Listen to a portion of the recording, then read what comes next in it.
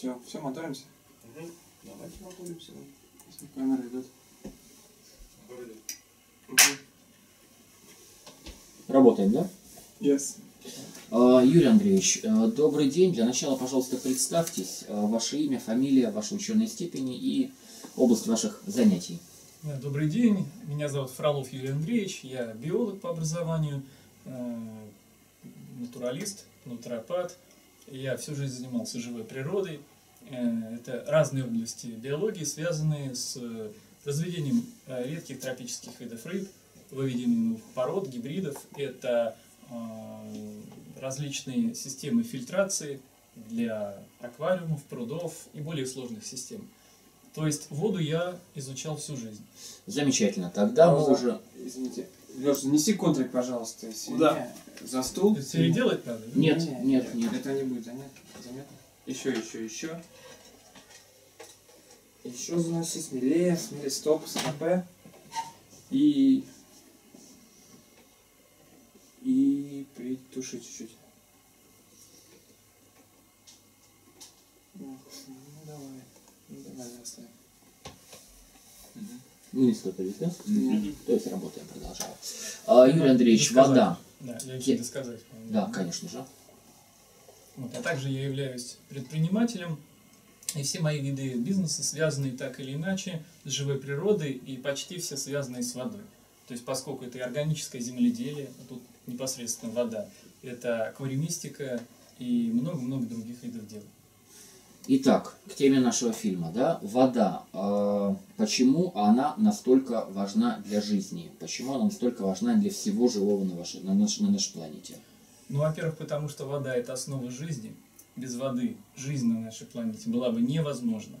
И все самые важные процессы биохимические, происходящие в живых организмах, протекают только непосредственно с, с участием воды, и без нее невозможно. Такой, например, процесс, как фотосинтез, а, образование органических веществ на свету, то есть энергия Солнца, преобразуется в растениях в энергию химических связях, и образуются сложные органические соединения, собственно, белки, жиры, углеводы, которые мы используем в пищу, и из этого строятся клетки нашего организма, других животных. То есть это некая первичная биомасса в экосистеме, глобально, если рассматривать, без которой невозможно было бы жизнь всех видов животных на нашей планете.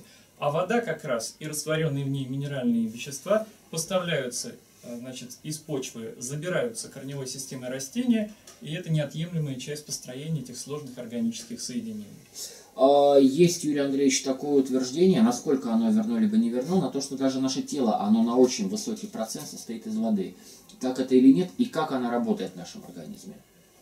Если мы говорим про человеческий организм, ну, собственно, как и про любой организм высшего живого существа, высших животных, а, млекопитающих, то мы с вами состоим а, на 80-70% из воды. Тут, собственно, это зависит от возраста. Дети, новорожденные младенцы, аж до 90% состоят из воды. А когда человек умирает, вот именно процесс старости можно напрямую поставить тире потеря воды. Это 60-50%. Это смерть. То есть фактически это иссыхание. Это смерть, старость, это потеря организмом клеткой воды. А, Юрий Андреевич, структурную формулу воды знают все, да? Это два атома водорода, один атом кислорода. Но, насколько я понимаю, химическая а, структура, она не имеет ничего общего с биологической ценностью и активностью воды.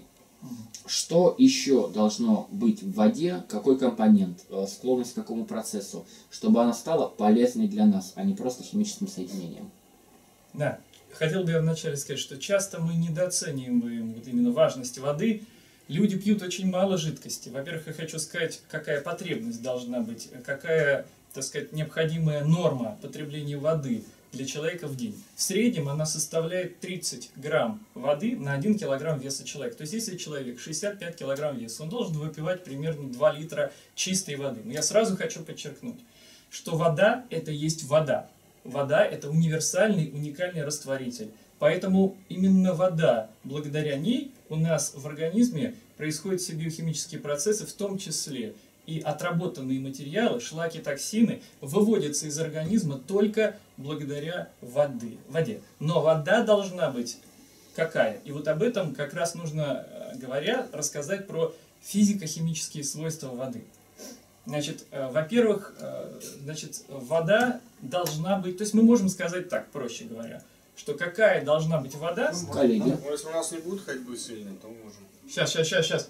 Наташ, очень хорошо э, резонанс передается от ударов ног. Я прошу, вот в комнате посидите в какой-нибудь там.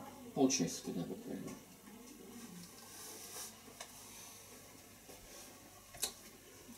Так, сейчас.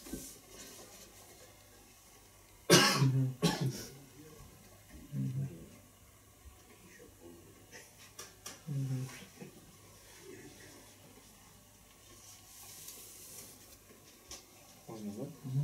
Да, вроде тишина идеальная. Моторы идут. Жень. Поехали. Хлопните кто-нибудь. Мгм. Работаем, да? Работаем, А, Юрий Андреевич, мы продолжаем тему про нормы потребления. А, Если норма потребления воды ниже 30 грамм на килограмм веса в день, то тогда происходит э, частичное, глобальное либо не глобальное, но обезвоживание организма. А обезвоживание организма это ведет, э, то есть сразу к э, определенным последствиям, а именно разным болезням. Но об этом мы поговорим чуть позже. То есть вначале логично было бы сказать именно о физико-химических свойствах воды. То есть какая вода является нормальной, полезной, живой. Да. И вот тогда будет понятно, что если за рамки определенных критериев выходят те или иные показатели, то такая вода уже будет опасной, бесполезной, вредной или по-иному называемой. Какие же параметры, на что нужно обращать внимание, какие параметры являются показателями качества? Постараюсь сказать об этих параметрах и физико-химических свойствах по порядку от самых приоритетных к менее приоритетным. Ну, во-первых, вода должна быть чистая. То есть, что значит чистая? Во-первых, она должна быть химически чистой, а во-вторых, биологически. Химически чистая – это значит, что в воде не содержались растворенные в ней яды, такие как хлор, мышьяк, кобальт значит, и другие вредные вещества. А биологически чистая вода – это значит, что в этой воде не должно быть вредоносных патогенных микроорганизмов, вирусов, бактерий, грибков, паразитов. Поскольку, к примеру скажу, что любая вода в природе, из любого природного источника, даже из колодца, если она выше плюс 10 градусов, содержит многие микроорганизмы, в том числе не полезные нам, например, лямблии, простейшие организмы, которые, кстати, приводят к очень весьма таким серьезным проблемам с организмом. Вот. Это есть такое. Э, Критерии чистоты воды, да, понятны, но вот смотрите, та же самая дистиллированная вода, да, она отвечает вот ровно тем параметрам, которые вы сейчас озвучили. Но она ведь вовсе не полезна для нас. Нет. Либо полезна. Это вы уже коснулись другой, э, значит, скажем, другого критерия, минерализация воды называется. Вот. Поэтому э, я хотел бы коснуться сейчас более важных параметров, а потом перейдем к этим. Хорошо. Действительно, есть такой параметр, как pH, водородный показатель. Это один из основных показателей э, качества воды и ее физико-химических свойств. Почему? Дело в том, что все среды нашего организма, внутренние среды, я подчеркиваю, такие как кровь, лимфа, слюна, они имеют щелочную реакцию pH. Все они находятся примерно в интервале от 7,2 до 7,6 pH. Они являются слабощелочными. Кровь всегда имеет 7,42, 7,43. И небольшие отклонения от этих параметров приводят к очень серьезным последствиям, в том числе, например, на 3-4 единицы, десятых единицы – это смерть, кровь. Так вот, э, есть такое понятие в биологии гомеостаз, постоянство внутренней среды. В данном случае как раз это показатель является самым таким как бы лакмусовым. Так вот, дело в том, что если при каких условиях мы можем закислять свой организм? Ну вот если человек пьет, например, не воду, а пьет кофе, он сразу закисляет, параметры могут уйти даже за 5 и ниже. Что делает организм? Чтобы вернуть кислотно-щелочной баланс в равновесие, а такова природа, что должно быть равновесие, то организм, дабы восстановить щелочную среду, берет минералы, щелочные минералы, э, из костей. И разрушается, собственно, костная система, хрящевая система нашего организма.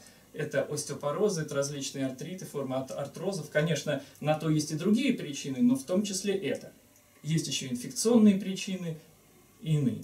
Вот. Это мы говорим о кислотно-щелочном равновесии. Вода э, из-под крана артезианская всегда щелочная, но тут мы должны перейти к следующему параметру, потому что, например, артезианская вода, она очень жесткая вода. И параметр жесткости стоит, можно сказать, ну условно, назовем ее на третьем месте. Значит, вода жесткая, если в ней растворено очень много карбонатов и сульфатов кальция и магния.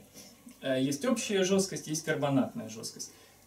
Жесткость не должна быть высокой, не должно быть большого количества солей этих э, минералов в воде. Почему? Ну, во-первых, потому что только корневая система растений может усвоить неорганические минералы, а любое животное, в том числе человек, может усвоить только биологическую доступную форму минералов. Они должны находиться в ионной, водорастворимой, органической форме. И такие минералы могут содержаться только а, в клеточном соке растений, это в идеале. И поэтому вода, которую мы, э, ну, если мы бы пили еще из Байкала или из Онежского озера, то мы могли бы еще получать органические минералы частично.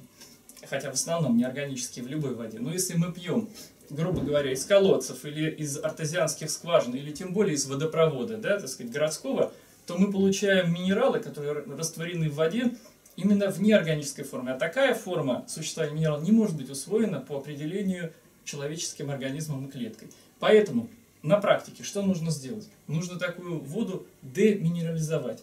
То есть для этого есть специальные фильтры. Умягчители, которые убирают жесткость параметра, да, то есть э, сводят ее близкую до нуля можно фактически довести. Можно использовать обратный осмос, дистиллятор. И с одной стороны такая вода вредна. Почему? Потому что вода, как известно, растворитель, и она притягивает на себя в том числе минералы и может вымывать из организма их э, большое и нужное нам количество. Но в этом случае мы должны потреблять продукты питания, богатые минералами, а они все равно нам нужны только в доступной биологической форме, то есть э, из клеток живых тканей растений, плоды, овощи, это все значит, только таким образом может быть усвоено. Поэтому это действительно обосновано в тех местах, где вода очень жесткая. Надо убирать жесткость, но потом мы к четвертому пункту идем, нужно воду минерализовать. И вот для этого существует несколько методов. Во-первых, есть э, разные компании, которые сейчас выпускают, ну, скажем, некие субстраты, добавляя которые в воду, э, значит, они э, воду выделяют именно, то есть вода берет на себя, растворяет именно органическую форму минералов. Вот. Ну, это различные известные японские препараты, так сказать, собственно, откуда и пошло очень серьезное изучение свойств воды. Вот. То есть это возможно сделать. Есть комплексные системы фильтрации, которые сначала деминерализуют, потом минерализуют. Умягчают, обезжелезивают воду, потому что высокое содержание железа и карбонатов кальция приводит к тому, что э, даже в воде с температурой ниже 65 градусов кальций выпадает в осадок, и мы видим то, что происходит на стиральных машинах. То есть, когда портятся, вот, собственно, э, змеевики. Но поймите правильно, ведь любой сантехник грамотный скажет, если вода в водопроводной системе, в системе отопления – выше 65 градусов, но это не антифриз, или это не дистиллированная вода обычная из артезианской скважины, скажем, то обязательно выпадет осадок. Нельзя, говорит сантехник, выше 65 поднимать температуру. Он правильно делает. Так что же мы, люди, с вами делаем, когда мы варим пищу, те же живые фрукты, содержащие живую структурированную воду, ведь минералы, содержащиеся в этих фруктах, также переходят в неорганическую форму, и такие уже минералы в вареном, жареном виде человек не может получить и растворить в воде, фактически до конца. Вот. Это очень вредно. И вода то же самое. Нельзя кипятить воду по нескольким причинам. Во-первых, потому что нагревая выше 65, если только это вода не дистиллированная, подчеркну, то тогда минералы обязательно выпадут в осадок. Мы же с вами видим такую картину часто. Любой человек, кто кипятит чайник, когда-то видит осадок, если он, конечно, не использует э, дистиллированную воду. И тогда, что я спрашиваю этого человека? Что вы видите? Ну вот осадок. А что такое осадок? А это были когда-то минералы в органическом, ну, может быть, не в органическом, но они были растворены в воде. Но при каком-то изменении физических параметров они перешли в водонерастворимую форму и выпали в осадок. Все, иллюзий быть не должно. Такая форма минералов не может быть усвоена организмом человека. А что может быть? а может быть эм, использована для другого, к сожалению, очень вредного для нас явления. Ну, скажем, э, могут забиваться почки, образовываться камни в почках, песок. А а если такие минералы неорганические, мертвые, соединяются с холестерином, то образуются атеросклеротические бляшки, которые мы все знаем, против которых боремся, да не все понимают, что это некий синтез. Не просто это некий какой-то холестерин. Холестерин, он на самом деле не так вреден для организма, даже совсем не вреден. Но вот если поврежденный сосуд, э, туда действительно устремляется холестерин, чтобы закупоривать вот эти отверстия, но если много поросло на сосудах вот этих неорганических солей, которые отложены в виде такой некой арматуры, ну это можно аналогию с бетоном привести. Бетон – это некое очень прочное образование, состоящее из, грубо говоря, значит, вот самого раствора и арматуры. То в данном случае, по аналогии, арматурой являются минералы неорганические, а раствором является как раз э, холестерин. И вместе это атеросклеротическая бляшка, очень трудно растворить и вывести из организма. Но надо помнить, что вода является водораст... То есть вода – это растворитель. И если человек начинает пить воду, а ведь мы не пьем, как правило, то количество воды, которое нужно. Ведь никакие чаи и кофе, еще раз скажу, они не являются водой и не являются растворителем. Они не участвуют, как должны участвовать во всех биохимических процессах. То есть это не активная вода. И поэтому мы можем перейти к следующему пункту и сказать следующий параметр, очень важный, который называется ОВП – окислительно-восстановительный потенциал. Секунду, давайте через... Паузу. Это вот техническая пауза. Илья Стоп. Андреевич, Да, чтобы у нас стоп, звуковые были одного. Нет, пока перерывчик. Маленький перерыв. да? Ага. Можете освежить пока э, Ну да, чтобы логично. информацию.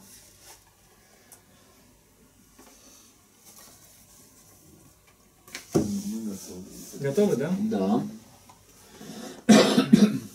Поехали. Моторы идут. И вот теперь Еще секундочку. И вот теперь можно говорить о следующем очень важном физико-химическом свойстве воды, параметре, это ОВП, окислительно-восстановительный потенциал. Ну, например, аквариумисты со стажем и профессиональные аквариумисты хорошо знают этот параметр, поскольку уже даже вот в нашей стране более 10 лет существуют и продаются приборы, я бы сказал, даже лет 15, а вот, которыми можно померить этот параметр. Но о чем он говорит? Вот это важно дать понять, объяснить людям.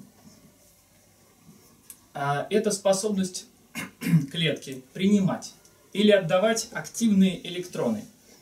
Значит, в норме, в межклеточной жидкости, в клетке нашего организма любой, ОВП жидкости составляет минус 100, минус 200 милливольт. Но водопроводная вода, вода из артезианской скважины содержит плюс 200, плюс 300 порой милливольт. И это колоссальная разница. Что происходит теперь на практике, когда мы пьем по безысходности, по незнанию вот такую воду мертвую? Происходит следующее. Вода поступает к нам в организм, идет в кровь, через кровь во все ткани нашего организма. И наши живые клетки, мембраны клеток, должны отдавать активные электроны этой воде, чтобы вернуть ее в нормальное состояние, состояние схожее со своей средой. То есть восстановить они должны структуру, восстановить э, полярность. И на это уходит огромное количество энергии, во-первых. Во-вторых, тут схоже, то есть можно привести пример э, с свободными радикалами. Это то же самое, когда э, клетка лишена молекула э, одного или нескольких электронов, под воздействием определенных факторов. Там это канцерогенные вещества, это э, окисление жиров. Значит, э, все, все слышали люди о таком параметре, скажем, как э, свободный радикал, явление. Это разрушающие наши клетки э, какая-то молекула или группа молекул, которая, как, грубо говоря, террорист, врываясь в клетку, порой может уничтожать за раз не одну. Особенно есть э, э, в пище, если есть катализаторы, такие как медь и железо, ну, вот когда человек ест, например, жареное мясо. Вот происходит именно такая ситуация, когда э, значит, идет цепная реакция, потому как образуются такие страшные канцерогены, как нитрозоамиды и, например, ну, я, сейчас я Ну, заново через паузу, момент, да. через Мгм. паузу тогда сделаете, да? Да, конечно же. Сейчас это просто интересный момент, сейчас я вспомню. Сейчас одну секундочку. А, да. И при, например, скажем, жарке мяса, образуются такие страшные мутагены, как нитрозоамиды и гетероциклические амины. Это являются очень тяжелые отравляющие, значит, собой они представляют тяжелые отравляющие вещества, поскольку еще идет цепная реакция, ведь в мясе много железа. И вот э, тут уничтожается за раз от одной молекулы до 20-30 клеток нашего организма. Так вот, если вода с ОВП плюс 200-300 попала к нам в организм, происходят примерно те же явления. Это фактически свободные радикалы. Идет разрушение клетки на генном уровне, разрушается ДНК, нуклеиновые кислоты.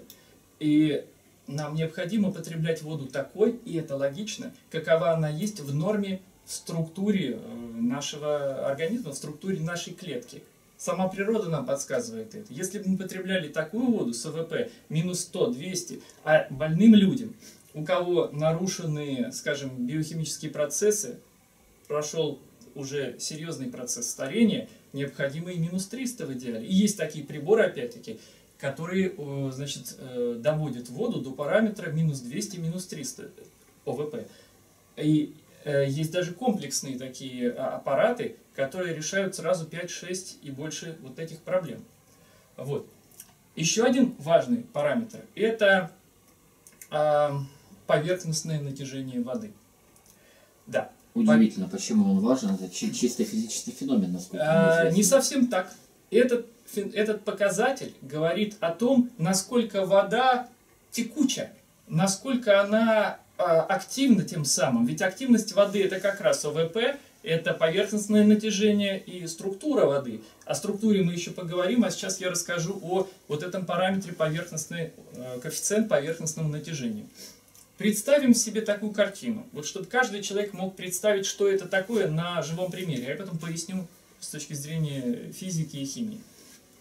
Если мы наливаем стакан с водой до самого верха, до кромочки – но наливаем плавно-плавно и посмотрим на него вот так за подлицо взглядом, как бы параллель, то у нас когда-то уровень воды будет чуть выше чашки, но вода еще не выльется. Вот за пределы чашки. Но когда-то последняя капля опустится, некий предел, и вода выплеснется.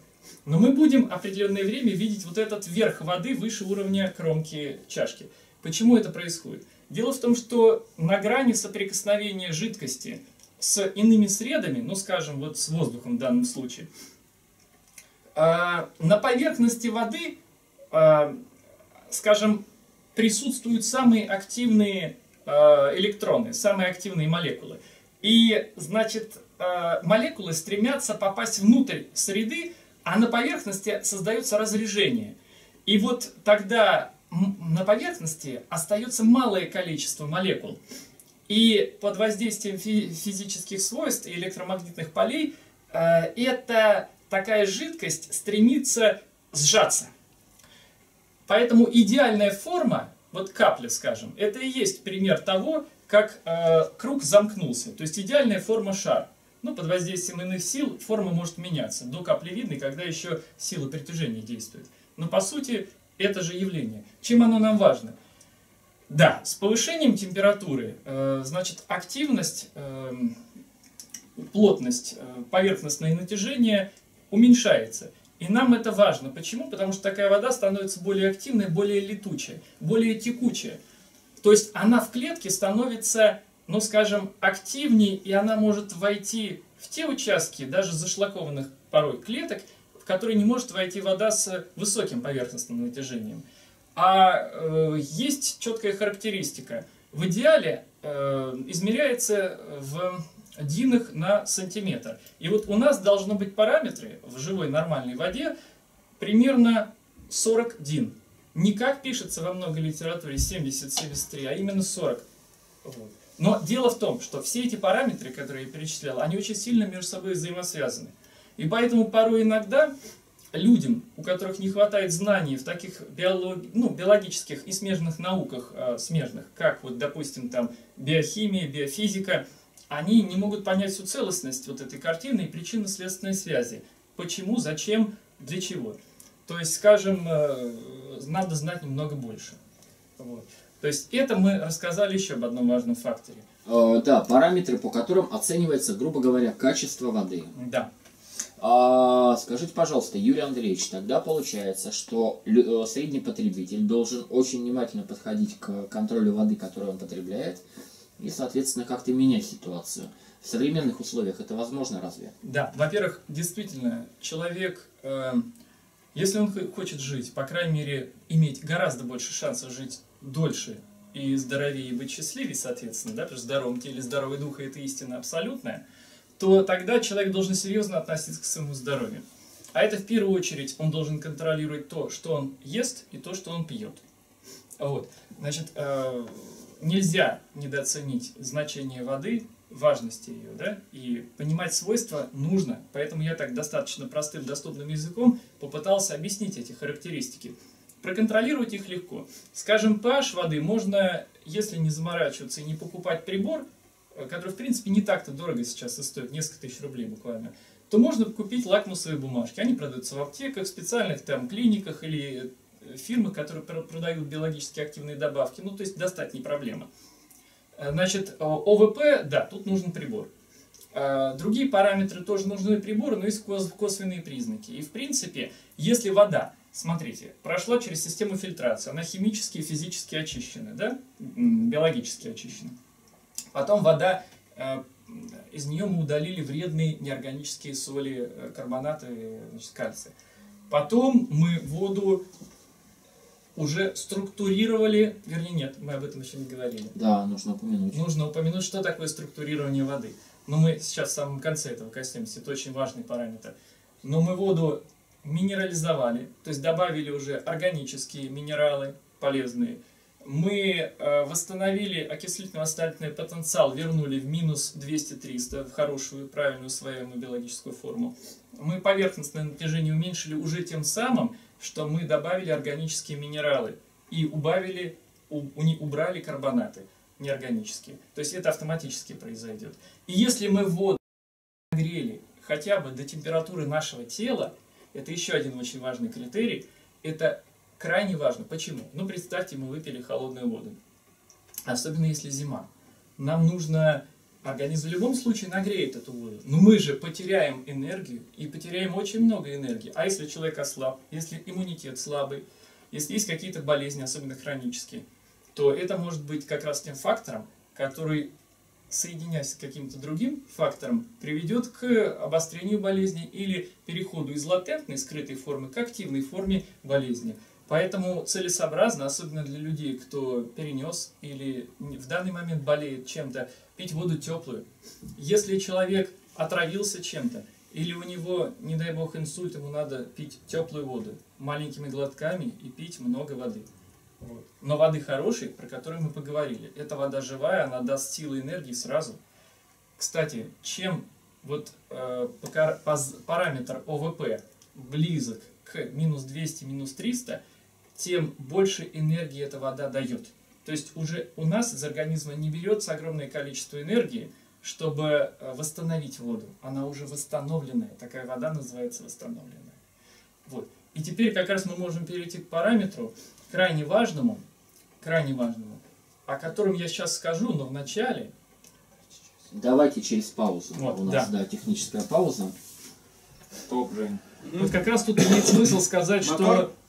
Подожди. Сейчас, секундочку, это да, пока не для нас. что это, так сказать, э, параметр, а, о котором стоит сказать вот чуть позже, Мгм. был хорошо известен, но только без названия нашим предкам.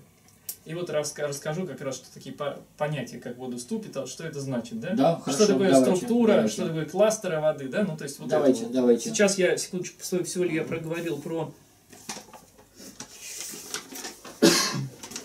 Ну, есть еще параметры. е- Ну, вот про теплую воду это тоже очень важно, я Это сказал. важно, да, это мы непременно оставим. А вот есть такое еще понятие удельная электропроводимость, но в принципе она косвенно связана с минерализацией, минерализацией, поэтому конечно, можно да. и не говорить, да, в принципе. Или давайте, можно... давайте, наверное, опустим, потому Опустим. что, да, единственное, что, если он действительно важен чем?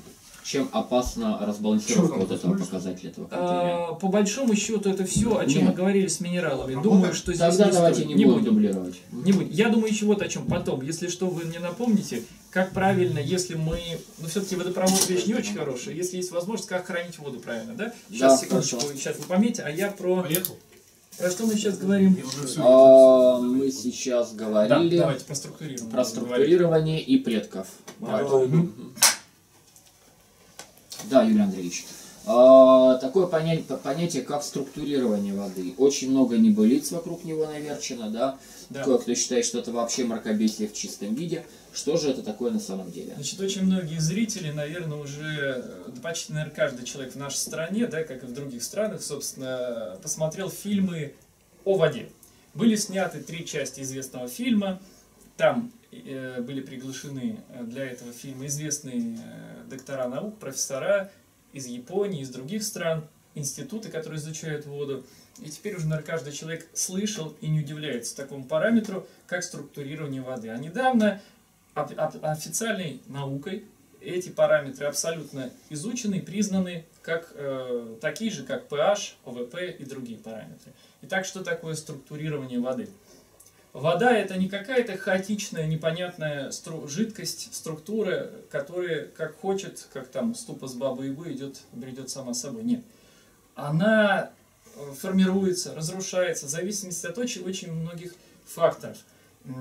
Но сама структура – это некое объединение молекул, э, значит, э, воды в сложные структуры, которые называются кластеры.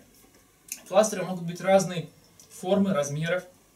И для нас, как для биологических объектов, очень важно, чтобы размеры кластеров были небольшие. Потому что чем а, активнее вода, чем меньше кластеры, тем более она текучая, тем лучше вода проникает э, в наши клетки и в межклеточное пространство, вынося оттуда из межклеточного пространства шлаки, токсины. И опять-таки э, это необходимо для работы э, лимфатической системы, как главной канализации нашего организма, э, для систем выведения воды и шлаков из организма. Это почки, кожа, э, вот, э, та же лимфа для крови, ну, потому что кровь не должна быть густой, закисленной, иначе будут проблемы, потому что закисление крови, э, загущение крови – это автоматически увеличение числа сердечных сокращений, это нагрузка на сердце, это рост э, кровяного давления, это гипертония, это э, худшая фильтрация в почках и печени. Это сразу комплекс проблем, который может сказаться и выразиться, вернее, в десятках и даже сотнях заболеваний и, по крайней мере, усугублять те процессы негативные, которые уже идут в организме, если они идут. И наоборот, если вода активная, имеет вот по этим нашим всем показателям э, эталон, то тогда и она в достатке, не менее двух литров для среднего веса человека в день, то такая вода уже будет способствовать очищению организма. Это крайне важно. Так вот, э, наши предки на самом деле прекрасно все это понимали и знали. И у нас даже в русском языке остались выражения, которые архаичные и уходят на глубину тысячелетий, например, такие как «воду в ступе толочь» или «вилами по воде», да, написано. И это не какая-то иносказательность, это не глупость, это не придумки, ведь наши предки, ну, не имели ни времени, ни желания, чтобы чего-то придумывать или говорить э, там ненужные слова, придумывать явления. Нет, они констатировали то, что есть в природе, и э, поскольку связь с природой в то время была глубже, мы многие вещи, знания утеряли, потому как цивилизация, она все-таки перечеркивает, она антагонист э, природе, к сожалению. Это Вернадский хотел некое вот учение о ноосфере создавать, как гармонично может сочетаться техносфера и э, экосистема, да, биосфера. Вот, поэтому э, будем к этому стремиться, а пока расскажу о том, что э, знали наши предки. Дело в том, что воду можно деструктурировать. Вот, например, падает вода с обрыва, водопад. Вода, молекулы взбиваются, информация из них уходит. А ведь вода имеет не только структуру, она еще информационная матрица.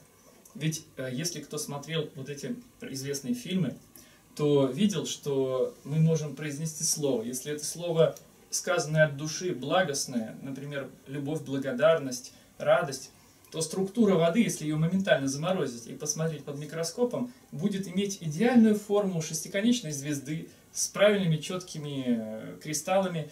Вот. Но если сказать плохое слово, пожелать, значит, плохое и э, значит, вызывать гнев, зависть, ненависть, плохие качества и свойства, а вот, э, то тогда вода будет иметь структуру разрушенную, аморфную. И это объективные вещи, которым уже наука полностью считается. Значит, соответственно, это есть как факт, как бы кто ни хотел э, и не мыслил. Наши предки умели деструктурировать воду. В ту- ступе толочь это и есть деструктурировать. И потом туда в виде наговоров, в виде информации от трав, когда отвар раньше не был, это были настойки изначально. То есть травы имеют определенные свойства, тоже определенную информацию. И если поместить их в воду, в деструктурированную, то вода принимает информацию. На этом, кстати, основана и гомеопатия, на этом основаны э, по методу фоля э, исследования организма и потом лечения через воду. Раньше я впервые эту технологию узнал в 89 году. Сейчас уже в крупку добавляют информацию. Раньше в воду, в чистую. Вы знаете, как это все было серьезно?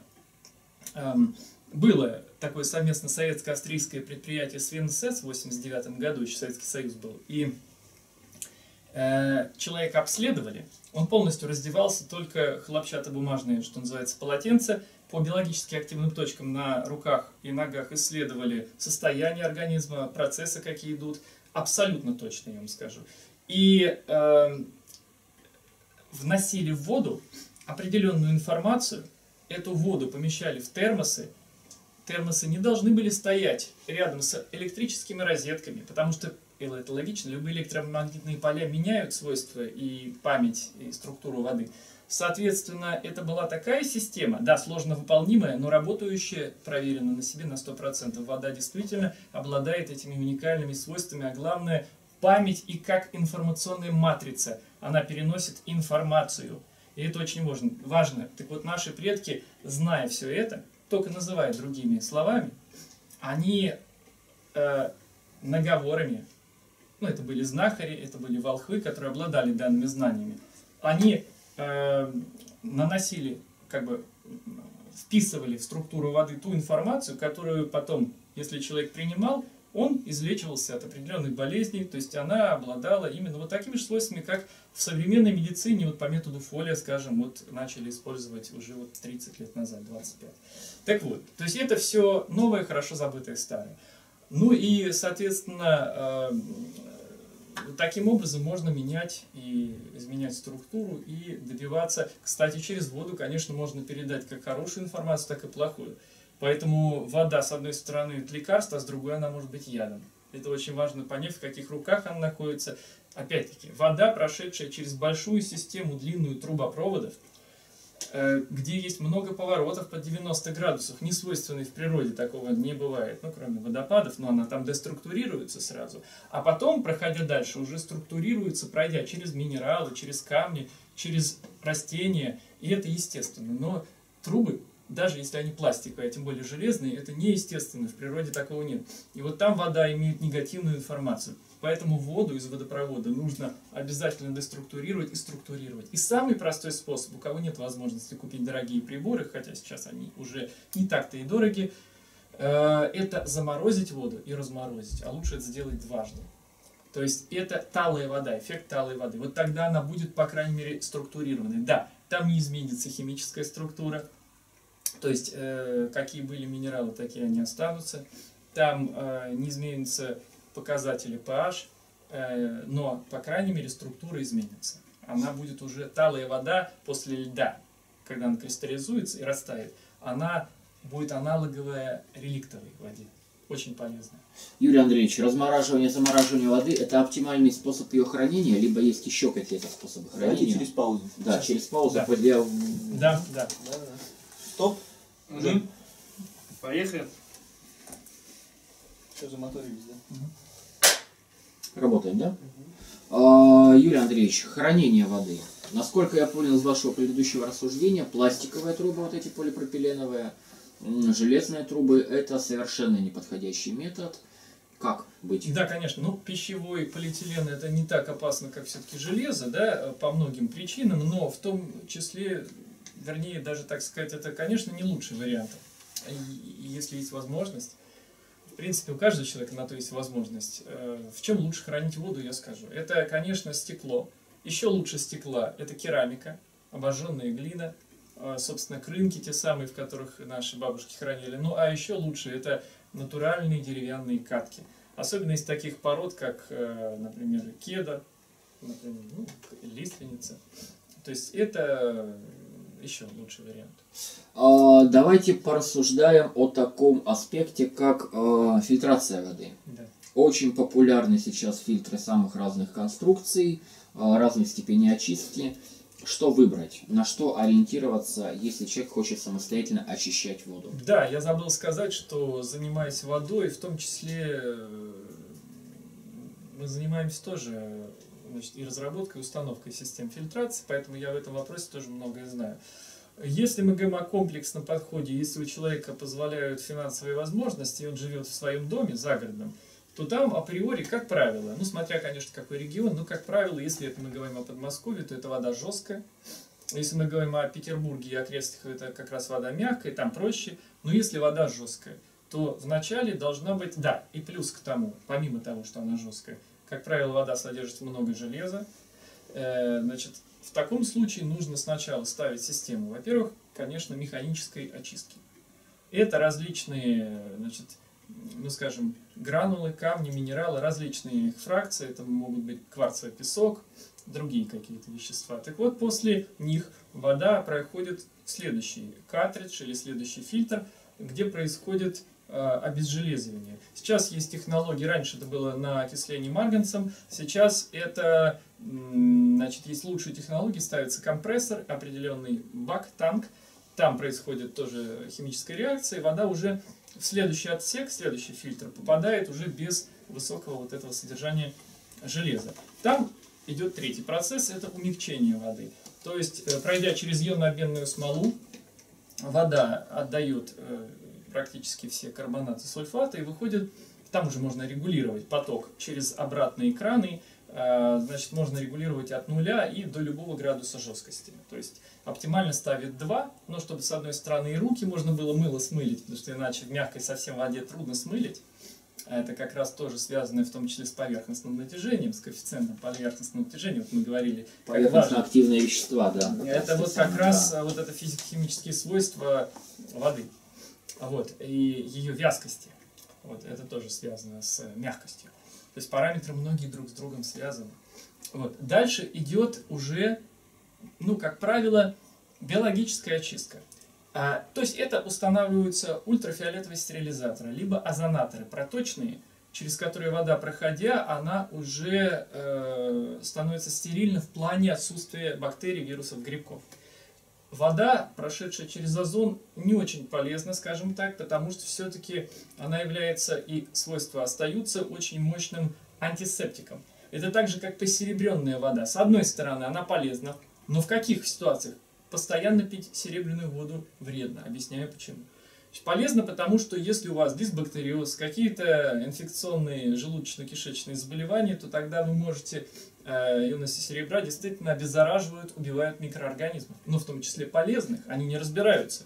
Так вот, э, тот человек, который постоянно пьет серебряную воду, он э, уничтожает не только вредных микроорганизмов, но и полезных, а это для нас очень плохо. У нас должна быть э, нормальная кишечная микрофлора, то есть наличие, наличие и бифидобактерий, и э, значит, сенной палочки, и кишечной палочки, и других, э, э, в том числе... Так, в этот момент я Да, ничего страшного. а, сейчас скажу этих. Мгм. Но, то есть, это должно быть и наличие, а, значит, э, кишечной палочки и бифидобактерий, то есть наших Кишечные родных... палочки вы не оговорились? Нет. Кишечная палочка. Простите. Да, нет. Тогда еще раз, да, это моя вина, извините. Вот. Дело в том, я сейчас, ну, вот. Поскольку микрофлора, наша симбиотическая родная флора нашего тонкого и толстого кишечника, в ней должны обитать родные нам симбиотические микроорганизмы, которые э, живут не вредя нам, а нам они поставляют в результате своего, своей жизнедеятельности биологически активные э, усваиваемые формы э, многих питательных веществ. В том числе они синтезируют аминокислоты, витамины, это разные бактерии, относящиеся к группе би- бифидобактерий. Это и кишечная палочка, и как раз тут бояться нечего. Это вот бывает проблема, когда кишечная палочка через э, мочеиспускательные каналы, попадая значит, не туда, куда она должна, и вот тогда и возникает проблема. А в тонком кишечнике должна летать кишечная палочка, потому что эта бактерия относится к группе аэробных бактерий, которые живут в присутствии с кислорода. Там еще пища в тонком кишечнике богатая кислородом, должна быть, по крайней мере. И вот если эта бактерия развивается и живет нормально, то тогда она синтезирует нам практически все витамины, в том числе витамин В12. И это гарантированно стопроцентный научный факт.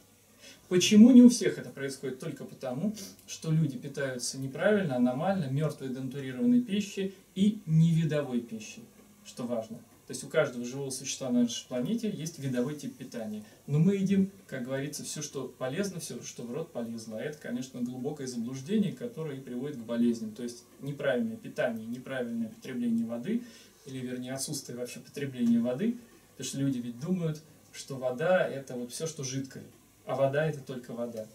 И мы разобрали, что вода не просто вода, а вода должна быть с определенными физико-химическими свойствами. Только тогда эта вода будет полезна, активна, она будет участвовать во всех, всех наших биохимических процессах и выносить из организма продукты распада, гниения, шлаки, токсины, тем самым очищая наш организм. Выполняя свою функцию, собственно. Да. Замечательно, Юрий Андреевич. В принципе, мы все Да? по, по моей, а, по моему Мгм. спектру перекрыли. Если у вас есть еще возможность как-то добавить информации, Жень, давай стоп пока. Пока пауза, да, коллеги. Да, да. Я сейчас скажу очень важную вещь, например, знаете, какой вопрос пока проговорим, Мгм, мгм. что ни в коем случае нельзя ничего запивать, вот объясню почему. Да, да, да. Давайте Ни режим коем- потребления воды. Ни в коем случае, что нельзя смешивать со сладким, потому что это получается тогда нету, ну, как бы это объяснить, а, сладкая вода, у организма нет чувства насыщения, а сладкая вода это очень тяжелый раствор, который, э, раствор, который влияет, ну, скажем так, на выработку как раз большого количества инсулина. Если, конечно, Мгм. это химические сладости. Если же это соки, и, кстати, надо сказать, может, о том, что соки из пакетов и соки натуральные именно принципиально разные вещи. Мы про это уже Ну, в поговорили. принципе, да. это- Тогда давайте скажем сейчас, знаете, про что? Тогда, значит, почему нельзя эм, смешивать воду и пищу другую? Это, наверное, очень важно. Очень Батарейку, важно, да. батарейку. Сейчас я тогда еще одну вещь, сейчас секундочку посмотрю. Ну, про дистиллированную воду тоже сказали, что если Да, она мы значит, упомянули. серебряная вода, все это хлорид, это сказали. Да, да. Так, фильтрации тоже всякое сказали. Значит, так, это сказали. Про, а про воду, кстати, сказали, или я только рассказывал, что как можно, что структура матрицы, и если помещается в колбу, под воздействием магнитных полей, она Мы переписывает. под запись это говорили. Это нет, по-моему, нет. Под запись. Под запись точно совершенно. Да? Да. Мгм. Ну хорошо, хотя мне кажется, это вот я вот э, объяснял. Евгению? Да. Нет, это не- нет, нет, да? нет. Я в любом случае как бы подавал вам эту подачу, поэтому у нас было записано это точно абсолютно. Кажется, нет. Ну ладно, посмотрите. Так, болезнь, ну, симптомы, все, сгущения, закисление крови. э, Это проговорено. Единственное, они сказали, что идет, как, конечно, поскольку кровь густая, она хуже проникает в ткани, идет кислородное голодание тканей, и как раз гипоксия и прочие вот эти вещи. Давайте отдельным слочком это проговорим. Проговорим еще раз, да? Давайте отдельно, как будто с нуля, да? Да, да, да. Симптомы, что если... Тогда давайте вот первый... э, Давайте про кровь сейчас вот это. Первая сказал. подача будет про кровь, вторая Да. про режим потребления Да. воды и ее совместимость Да, с другими сейчас продуктами. посмотрим еще одну вещь. Вы это тайм не забудьте напомнить, да? Так, сейчас теперь основа. Сейчас, сейчас, сейчас, сейчас. Да. Угу. Ну давайте. Ну, готово. Значит, сначала вы прошли. Да, про кровь. Ребят, Ну, подожди, Женя, я же менял батарейку, сбилась.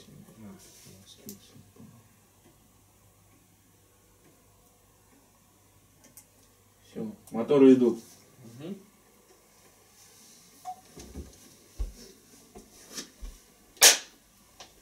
Работаем, да? Работаем, А, Юрий Андреевич, кровь и вода. Вы уже упомянули о том, что загущение крови и ее закисление это очень опасный и очень тревожный момент. Что еще, какая еще опасность содержится в нем? Если организму не хватает достаточного количества воды, чтобы растворить и вывести все ненужные продукты э, обмена веществ из нашего организма, то происходит следующее. Кровь становится гуще, ну, ее воды не хватает. Соответственно, концентрация форменных элементов крови, эритроциты, лейкоциты, тромбоциты, увеличивается, э, вязкость увеличивается, она становится гуще, и значит текучесть что? Уменьшается. Такая кровь хуже проникает во все микрокапилляры, а у людей, особенно ведущих, так сказать, образ жизни нездоровый, которые употребляют жареную, вареную пищу, мясо и прочие несвойственные человеку продукты, тем более газированные, не дай бог, напитки кислые, ищ- а ведь кислота любая, она приводит к еще большему сгущению крови. К тому же, э, так сказать, эм, э, если мы говорим о... м, так, вот этот момент. Сейчас По сгущению крови, да, щас. вот э, был момент. У меня просто, я опять-таки про, хочу про одну вещь очень важную сказать, про что забыл. Значит, э, ну давайте скажем напрямую. Значит так, если к загущению крови... Так, с какого момента лучше начать мне? Что кислота, она способствует Мгм. загущению крови. Вот после этого у нас уже немножко Мгм. пошло с, э, Да, с да, да, да, с да. небольшой. Мгм. Ладно. Любое закисление и дополнительное внесение какой-то кислоты в рацион, будь то уксуса, например, да, и ведет к закислению, соответственно, организма всего, в том числе всех сред и крови. Э, Этого ни в коем случае нельзя допустить, но если это происходит, то кровь становится более кислой, более густой, и, соответственно, хуже проникает в клетки, в капилляры, микрокапилляры, в отдаленные периферические отделы нашего организма и даже к некоторым внутренним органам. Ну а э, к чему это приводит? Это приводит к тому, что, особенно если это происходит в головном мозгу, происходит гипоксия и отмирание клеток головного мозга, потому что кислородное голодание наступает, ведь клеткам не хватает кислорода, ведь кровь, она у нее несколько функций, в том числе эритроциты переносят кислород, забирают углекислый газ и продукты распада, ухудшается циркуляция лимфы как отводящей системы, системы нашей очистки, как бы нашей канализации организма. Страдает весь организм. То есть э, происходит, э, может прийти это, причинить непоправимый э, ущерб вплоть до летального исхода. А, Юрий Андреевич, наверное, еще очень немаловажно, как употреблять воду, в каком режиме, с чем ее можно сочетать, да? Расскажите про Очень, это, пожалуйста. очень важно говорить именно о режиме и уместно здесь говорить. Более того, если человек от- а, ну, как бы хочет очистить свой организм от шлаков токсинов, и начинать надо обязательно с толстого кишечника, ну и из печени, которая подвергается самому масштабному объемному загрязнению, поскольку это главный фильтр нашей крови, ну к тому же это железа, которая вырабатывает огромное количество гормонов, ферментов, она синтезирует белки, это лаборатория, которая синтезирует более 500 биологически активных сложных э, веществ и компонентов и принимает на себя основной удар через кровь. Поскольку пища, съедаемая в тонком кишечнике, а, должна уже усваиваться в кровь, но туда могут проникнуть э, чужеродные агенты, непереваренные белки, например, которые вызывают моментально в крови реакцию антигена-антитела, и э, иммунная система подавляет антигены, она их обязана уничтожить, так же, как и уничтожает вирусы, попавшие, например, к нам в кровь, то печатаются огромное количество фагоцитов, лейкоцитов, они уничтожают этот антиген и погибают вместе, образуется трупный яд. Он по крови разносится, в том числе в печени, печень фильтрует, разумеется, дальше отдается почкам, нагрузка на почки, но если когда-то система не справляется, а кровь еще к тому же закисленная, густая, э, микроциркуляция э, ухудшается, и возникает очень много проблем, начиная там от гипертонии до застоя в лимфе, и это приводит к тяжелым последствиям. А когда межклеточное пространство грязное, то на, в нем могут паразитировать как раз и размножаться в большом количестве уже грибки, мицелии прорастают целых, кандиды и прочее. Это могут быть бактерии, вирусы. То есть в здоровом организме только паразиты могут существовать в определенных органах и тканях. А, э, скажем так, микроорганизмы, вирусы, грибки и бактерии уже практически не могут. Только мертвая клетка или полумертвая и грязное загрязненное межклеточное пространство может являться средой для этих патогенных микроорганизмов. Ну а чтобы такой среды не было, нам нужна биологически активная живая вода в достаточном количестве, которая и будет вымывать это межклеточное пространство, которое будет участвовать э, во всех вот этих э, быстрых, правильно протекающих реакциях биохимических, которые у нас в организме должны происходить быстро и свободно. Вот. Эм, тут еще что-то, вот я забыл какой А, сейчас про кали... э, с- э, сколько, не сколько воды пить, а что-то... С чем сочетать Вот, можно, вот, да. вот, вот. Мгм. Вода вообще это отдельный продукт. Ее нельзя смешивать ни с какой пищей. Почему объясню? Значит, ну еще полдела, если человек все-таки употребляет какую-то пищу сухую, хотя это, конечно, суррогат пищи, потому что никакие печенья, там, э, чипсы, крекеры, это вообще не продукты питания. Это, э, так сказать, продукты химических предприятий. И есть это нельзя вообще. Но если уж человек это ест, да, чтобы этот ужас как-то переработать и вывести, необходима вода. Иначе даже желудочный сок будет иметь концентрацию воды в нем. То есть если в желудочном соке концентрация воды из-за отсутствия, недостатка воды будет низкая, то увеличивается кислотность, и это приводит к определенным проблемам, в том числе язвам. Если э, человек употребляет нормальную пищу, ну, естественную, скажем, он съел фрукты, поел, то ему ни в коем случае воды пить нельзя. Почему? Потому что дело в том, что все, что сделала природа, то есть конечный ее продукт, а плоды что такое? Это концентрат энергии Солнца и минералов Земли. Это, ну, скажем, вершина вот этой эволюционная и, скажем, пищевая. В пищевой цепи растительного мира это вот вершина эталон. И мы, как животные, ну, в, в плане биологическом, я имею в виду животные, как животный организм, а, являемся плодоядными животными, потребителями высшей концентрации вот этой энергии, самой высокой на нашей планете, это плоды. Ну, собственно, как говорит даже и та же Библия, да, что плоды изначально и были питанием человека, и человек жил практически вечно. Так и должно быть. И это могло бы быть. Но когда человек потребляет плод, он самодостаточный. В нем есть как раз самое лучшее, обладающее всеми вот этими физико-химическими свойствами, активная, живая, биологически активная, структурированная вода. И в ней, в клетке в каждой, есть такой эм, органелла такая, называется лизосома. Она содержит клеточные ферменты. Мы кусаем плод, течет сок с растворенными ферментами. Есть процесс. Если пища живая, не вареная, не жареная, а естественная, то тогда происходит процесс самопереваривания. Благодаря вот наличием в этом клетках этого плода, например, а, ферментов, которые способны растворить саму себя клетку. Тогда у нас не тратится из организма энергия, она нам наоборот дается в огромном количестве. И питательные вещества, и энергии, все есть. Но если мы, представьте, сделаем глоток воды, то что мы сделаем? Мы разбавим эти ферменты. И вот тогда концентрация их будет неестественная, не та, которую создала природа для саморастворения, для этого сакрального процесса, самопереваривания. И процесс будет идти дольше. И мы должны вырабатывать еще дополнительно свои ферменты, которые как раз позволят все-таки перевариться этому, э, скажем, фрукту, овощу, неважно.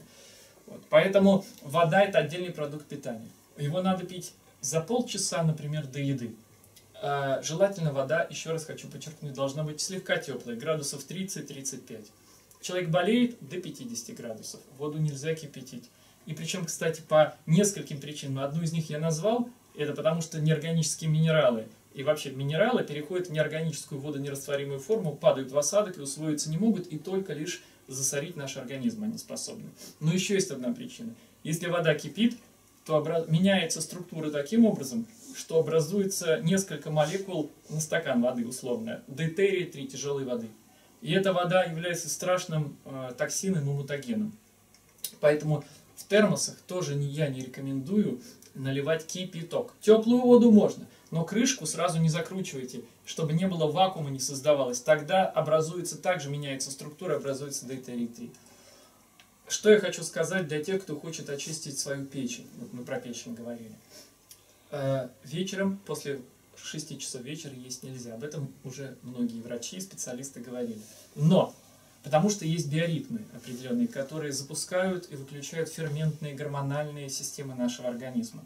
Поджелудочная железа должна отдыхать, она уже не может выделять такое количество ферментов, которое она выделяет э, при бодрствовании. Все это подчинено э, циклам, в том числе космическим, и по Солнцу. Все животные живут по Солнцу, по биоритмам, и мы должны. Но мы изменили мир вокруг себя, э, сделали некий такой стеклянный купол, и, естественно, это нам не на пользу.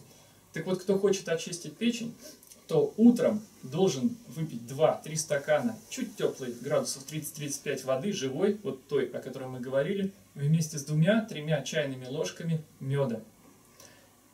есть э, механизм, благодаря которому с водой, выпитой натощак, мед, медовая вода так называемая, она, правда, работает всего 15 минут, этот эффект, пока кристаллики не растворятся в воде до конца. Но пока они не растворились, они проникают в следующий отдел пищеварительной системы после желудка 12-перстную кишку, а туда выходят протоки поджелудочной железы и желчные протоки. И вот а, по этим протокам они, благодаря электро, ну, скажем, химическому такому потенциалу, приклеиваются к любому инертному телу, в том числе к сгущенной желчи, камням в желчном пузыре, и притягивают на себя воду, дабы раствориться, активную воду, самую активную. И представьте, происходит такой эффект, как если мы возьмем кусок застывшей глины и кинем его в воду. Что происходит? Она начинает по краям обмекать и опадать. И вот так микрон за микроном камни рассасываются. Я уверяю вас, что на 100% из 100%, ровно на 100%, каждый человек таким методом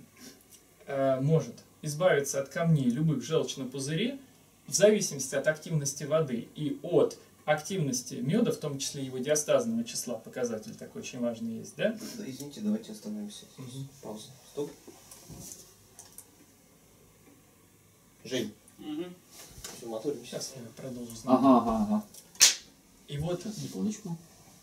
и вот э, если вода биологически активна, вот все, о чем мы говорили, если мед высококачественный, экологически чистый с высоким диастазным числом, то тогда в зависимости от этих параметров человек может полностью, ну и от размеров камней, от их структуры, конечно, от месяца до полугода растворятся любые камни. А дальше будут растворяться уже и каловые камни в толстом кишечнике, и межклеточное пространство будет потихоньку очищаться. Разумеется, это не панацея, не значит, что вот мы, как люди, любят такая человеческая уж натура. Что-то полезный совет дашь, люди начинают это делать, и понеслось в остальном еще хуже. Больше начинают есть там шашлыка, не знаю, хлеба и так далее, не понимая, что хлеб и колбасы не растут на дереве и даже не бегают по земле. И это не пища, а суррогаты пищи. Принимая суррогаты пищи, человек будет обязательно болеть. И вопрос только в том, э, насколько, так сказать, его организм имеет в данный момент еще оставшийся потенциал запаса прочности. Насколько еще осталось у него сил сопротивляться. Да. Что-то, Юрий Андреевич, у нас еще осталось. Э, Ну, сейчас посмотрим. По-моему, мы перекрыли прямо вот весь диапазон Наверное, вопросов. да. Наверное, да. И все очень-очень-очень интересно. Да, если бы это сделать, так сказать, серьезно, комплексно по вообще, вот, ну, я вебинары такие провожу и семинары. Вот, Мгм. Сейчас они очень собирают. Даже вот в этой теме это ну, действительно много, потому что, вот, например, мне говорили, что Зеланд, например, даже, наверное, вы слышали, да? Да, конечно же. Вот вебинары, там, на вебинарах собирается по 300, там, человек, который по теме вот именно живого питания, сыроедения. Вот. А у меня сейчас проводил, был рекорд, но это те, кто знают, разбираются в этом, говорили, по тематике вообще сыроедения в России, это больше тысячи человек было. Ух. на- Мы продолжаем на дальше? Нет, нет, нет, у нас пока да. Все, да? Вот, и, э, ну, вот посмотрите, если будет интересно, у меня же блог есть, вот, э, А я так и нашел на Да? самом деле вас, Вот. потому что я посмотрел одну из ваших лекций. Правда, очень много лекций сейчас там закрытых, то есть, ну, они будут постепенно, спустя время. Потому что сейчас я провел цикл лекций по отдельно коже, Ага. лимфе, печени, почкам, а, очень серьезно по паразитам, потому что паразиты, А, тема Да, да, очень недооценена. А ведь эта тема очень большая и проблемная. Паразиты. А это будет на вашем сайте появляться эти материалы, Будет, да? будет. Вот, потому что паразиты, это, как вам сказать, их эм, порой многие болезни, которые люди вот не понимают, почему. Ну, например, вот, скажем, э, говорят, вот сыроеды, так сказать, вот мясо не едят, железа мало, типа, и анемии бывают. Хотя это полная глупость, если мясо вареное, там уже железо разрушенное. А железо в яблоке, железо, так сказать, в гранате, железо в фихуа, везде железо. Но если этого нет э, и дефицит, надо смотреть другой, а человек сыроед, например, а есть такие люди, значит у него лямблин, сто процентов, который как раз железо разрушит. Или, например, если, а, а, например, сейчас вам скажу, эписторхии есть такие Да. паразиты, они р- питаются вообще клетками печени. А в печени самое высокое содержание концентрация B12. Вот они как раз поедают, высасывают до 70% Витамин. B12, ну в том числе, поэтому его и не хватает. Даже если вот толстый кишечник и тонкий синтезируют, ну бактерии, которые... Вообще в природе нет другого способа получения B12, именно B12, не других B, а именно как э, синтез бактериями. Ни одно животное не синтезирует B12. а только бактерии, которые живут в нем, синтезируют. Так что же, вопрос. Мы совершенные существа или мы ущербные и ниже стоим в эволюционном плане, чем какой-нибудь любой другой млекопитающий? Конечно, нет. Скажем. Тогда ученый, который говорит о том, что B12 можно только с мясом получить, он идиот. Потому что он говорит, ты природа дура, он не мне, он ей говорит, природе. Я умнее тебя, он говорит. Это так же, как э, этот, какой, который вот этот вот начал там о бактериях, как же его, Мечников, да? Э, Ученый великий, Илья Мечников, точно. Он э, получил Нобелевскую премию, он умный человек, но не до конца, видать, умный, потому что что человек это сказал? Он говорит так, толстый кишечник, он четко заявил, не нужен человеку. Умный ученый, если он вообще умный человек, а тем более, если он ученый, он должен сказать так, если я что-то не понимаю, но это природой создано, я должен стремиться к пониманию для чего. А если я говорю, что ты природа дура, то это он идиот. Вот и все. И Илья может Иванович не был физиологом, скорее всего, просто погорячился. Но вот я просто говорю, то есть вот эти догмы, постулаты, которые до сих пор из уст в уста передаются всякими там бабушками от бабушек к неразумным мамашам, которые там, э, так сказать, уже там не помнят даже основы там ничего, да, они им что детям нужны белки, чтобы это бу-бу, му и я просто вот, значит, молоко полезно, потому что там кальций. Да если человек будет э, пить молоко, у него будет дефицит кальция всегда. Почему? Очень просто. Да, в молоке кальция много, но в молоке что есть? Казеин, животный белок. У нас нет фермента ренина, который расщепляет фермент казин. Это самый долгоиграющий белок, который будет сильно закислять pH желудка и других сред нашей рыбы. Что должен организм сделать? Взять откуда-то щелочь, чтобы не Да, тр- о чем мы говорили. да. Откуда он возьмет? Сначала из продукта. Так вот, в самом молоке хватит кальция и других щелочных минералов, Ровно за то, чтобы погасить этот объект. нет, ровно на то, чтобы погасить одну четверть максимум. А А. три четверти он возьмет из костей, волос, ногтей. Вот разрушаются организмы из мамаш, потому что кормящая мать, она, разумеется, природа так. Да, в молоко да, все да. передастся. Но будет, раз- вот поэтому и разрушаются все. А им врачи еще больше творога, еще больше мяса. Идиотизм. Даже если отбросить всю биохимию и оставить только здравый смысл, то о чем тут можно говорить? Молоко природа создала для млекопитающих животных как концентрат энергии и питательных веществ, а также запуск иммунной системы, потому что много иммуноглобулина, других белков, низкомолекулярных иммунных белков. Для того, что это самый простой и лучший способ ну, сохранить потомство, сказать, ко- кормить. Но нет исключений в природе. Когда маленькое животное перестает, и это происходит, кстати, автоматически и синхронно, животное маленькое, ребенок, перестает стать молоко, а у матери прекращается синтез молока. И вот что происходит. Маленькое животное навсегда, на всю жизнь прекращает употреблять молоко и переходит на что? На видовое питание. Чем питаются их взрослые родители и сородичи, и более никогда в жизни не употребляют. Мы что делаем? Мы не только искажаем эти законы природы, мы потребляем молоко чужих видов животных. А там свой состав, своя информация, там казеины другие. Я более вам того скажу, что козье молоко и, например, там овечье молоко или коровье молоко, у них как ключ к замку свой казеин и свой ренин, фермент. То есть, скажем, не может теленок усвоить э, молоко в полной мере козье. И глупости все, о чем там говорят, что в большей, там, меньшей мере и так далее. Там про минеральный состав только разница есть. И только из-за этого, потому что нам важнее минералы, чем белки. Белков мы всегда получим с избытком. Они нам не нужны. Даже я вам того, более того скажу. У нас есть вообще об этом четыре способа получения белки в орга- белков в организме. И один из них, который мало вообще кто говорит, если бы организм был здоров и чист, то печень, чистая печень, имеет возможность, а, любой биолог знает, что печень синтезирует белки, но она еще разбирает белки. и она да, может да, разрушенные клетки разобрать белки и построить новые белковые молекулы. То есть у На нас основе тех осколков. да, да, по- азот, и все. Нам азот, а что такое белок? Это азот плюс углерод, водород и кислород. И плюс еще какой-то минерал, там сера или что-то еще. Все. То есть, короче говоря, нам нужны минералы, а остальное э, получить можно многими способами. Абсолютно многими. Любой фрукт, овощ содержит белки. Аминокислоты. Просто практически нет таких, которые содержат все там 28, да, и 8 незаменимых. Но очень много тех, которые содержат 26 и 7 незаменимых. А в картошке, например, если она живая, не вареная, из 8 незаменимых аминокислот все 8. Все 8. То есть, короче говоря, это попусту тупая болтовня бездарей от науки, которые ничего не знают, которые учились чему-нибудь как-нибудь, которые повторяют, Юрий да, Андреевич, которые повторяют глупости, а, заученные с детства. То есть все мы прокатили через матрицу стереотипов. Да? Конечно, конечно. И повторяем, выйдя из школы институтов, повторяем то, над чем даже никогда не думаем, как о священной корове. То есть мы просто размышляем, даже вот просто, что это постулат. Но не задумываемся, так ли это на самом деле. И порой так просто понять, что это не так. И когда ты понимаешь и меняешь что-то, ты можешь изменить все, что угодно. То есть, э, как пелось правильно в одной песне, ведь ты человек, ты и сильный, и смелый, своими руками судьбу свою делай. Да? То есть, вот, You can be everything you wanna be. А вот как быть, ну вот я, например, да, тоже, ну, как слушаю в последнее время Да. вода, вода. Ну вот у меня нет никаких ни приборов, ничего. Я просто из родника беру. Ах, Значит, родники очень многие могут быть источниками многих инфекций, в том числе бактериальных, вирусных, вот о чем я говорил, очень многие. Во-вторых, э, родник э, под родниками, вот, кстати, тоже жалко, я об этом не сказал.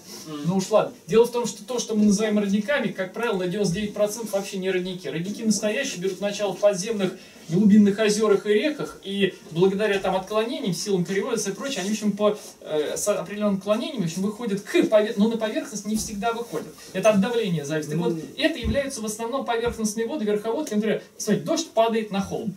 Через породы, э, значит, глины и фильтруется, Они, да. да, там на какой-то... И выходит у подножия. Понятно? Это не родник. Не родник, Нет. конечно. Так вот, ам, поэтому такие воды, которые мы называем родниками, ну, могут содержать очень вредные вещи. То есть это нужно расширенный анализ на 50-60 параметров сдать в лабораторию, чтобы... Поэтому лучше делать так. Взять обратный осмос. Чего взять? Установка Осмотрите, стоит да, 5, 6, система. 7 тысяч рублей. Обратный осмос под раковину поставить. Только менять картриджи там раз в полгода. Значит, а получать дистиллированную воду. Потом взять коралловый кальций в коралловом клубе. Вот я просто самый простой вариант говорю. Самый простой. Это самый простой. Это самый простой. Насытить ее, минерализовать, там 60 минералов примерно. Вот другого варианта, они сложнее гораздо, уверяю.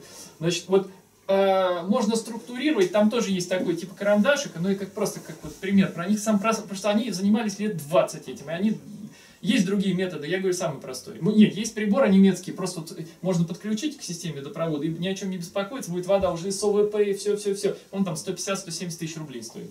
А можно купить за 5-6-7 тысяч, я говорю, в обратный осмос, куп- покупать эти пакетики, они недорогие, с коралловым кальцием, засыпать. Вот этим э, тоже тысячи две-три стоит такой карандашик, там просто стоит капсула с этой реликтовой водой и магнитное поле. Мешать, она структурируется. И будут вот те же самые параметры, о чем я говорил, но это будет копейки стоить, и это будет эффект реальный.